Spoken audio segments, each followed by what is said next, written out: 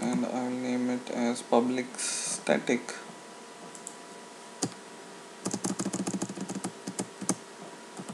Void.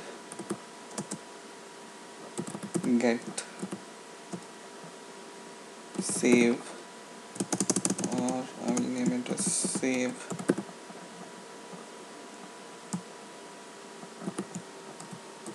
Screen. Shot and then I will close my box.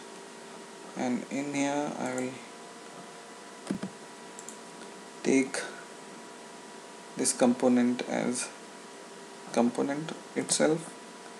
And after that I will take a string. String. And I will name its name, variable name as file name and that I will write throws exception. So what I have done is I have made a second method called save screenshot and I have taken three variable a component variable a string variable and I will throw its exception. Now in the main method here I will write the code for converting this image into PNG so write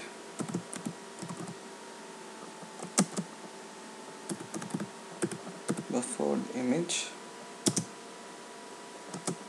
and I will name my image as img is equal to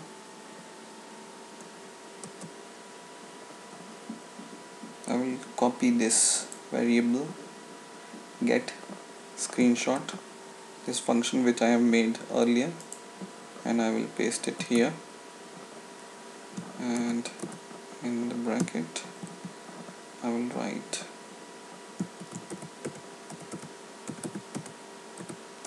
component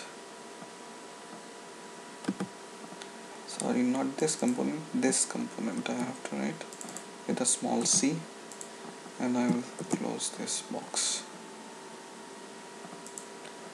And what I have done is I have taken this component from this function into a buffered image variable. And now what I will do is write image IO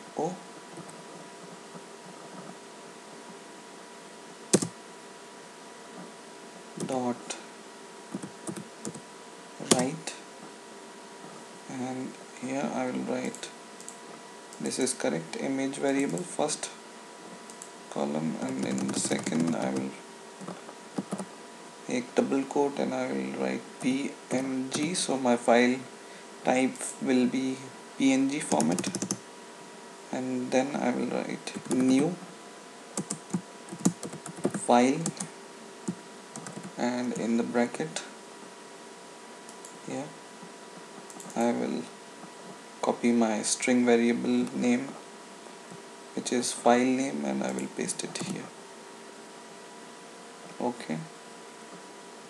So these are the two functions which I have made in order to save the first function in is to capture the image and the second function is to save it in the form of PNG now I will go to my design. And I will go to my take pic button which I have created earlier. And I will go to its event action action perform method. Once again I will try because it's haven't gone there and in here what you will write is you will copy your function name called save image which I have made earlier. I will show you this function which contains two parameters. Save screenshot function you will copy and once again you will go to your take pic method and you will paste it here and this close. And in here you have to pass two parameters. So first parameter will be your J component name